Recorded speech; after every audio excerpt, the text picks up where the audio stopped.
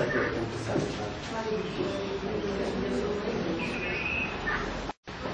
ଆମ think tank ଲୋକେ ବାସ୍ତବ କରି ଦେହର ଏତେତ୍ୱ ଲାଭକାରୀଙ୍କ ସମ୍ପୂର୍ଣ୍ଣ ସମୟ ଯୋଉ ସଂଗଠନ ଖର୍ଚ୍ଚ କରିବ ଅଙ୍କ ପ୍ରାପ୍ତିରୁ ବା ତାପରେ ସମ୍ପଦ ଭଳି ସଡକ ପ୍ରୟୋଗ କରିଥା ଟ୍ରାଫିକ ବ୍ୟବସ୍ଥାପନ ବାଇକ ବୟକ ପୁରା ପ୍ରତିଶତ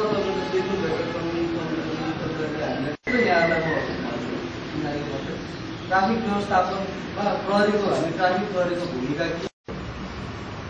तपाईँको सडक कार्यालयहरू छ यातायात व्यवस्थापन कति चेतनशील छौँ?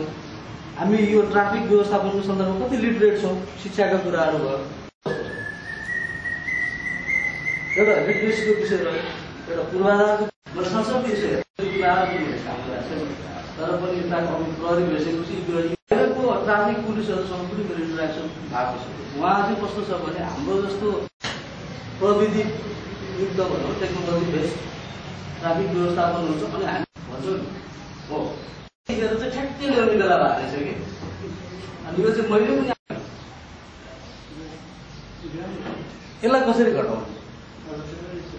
मान्छे मर्न भएन। दुर्घटनाकाले मान्छे मर्न भएन। घाइते हुन भएन। सिरियस घाइते भएको मान्छे कति मान्छे हामीसँग लाइफ लङ परिवारले उसलाई हेरेर बस्नुपर्ने अवस्था छ। त्यो अर्को दर्दनाक पाटो छ फेरि एकतिर। यसको लागि चाहिँ काहीँ के अरे चालकहरूलाई भेला पारेर गर्ने काहीँ स्कुलमा कार्य कार्यक्रम गर्ने यी सबै यावत कुराहरू चाहिँ जम्मा पचासदेखि सत्तरीको हाराहारीमा हरेक दिन भइरहेको छ। घटेकी घटि नै एक त संरचनाको विषय तुरुन्तै हामी चेन्ज गर्न सक्दैनौँ। हटिया लगाउँदाखेरि चाहिँ कुरा गरिरहेको छु हटिया चिज कि त एउटा सर्टेन ठाउँ स्पेस दिएर रोडभन्दा बाहिर अलिकति एकान्तमा राखौँ।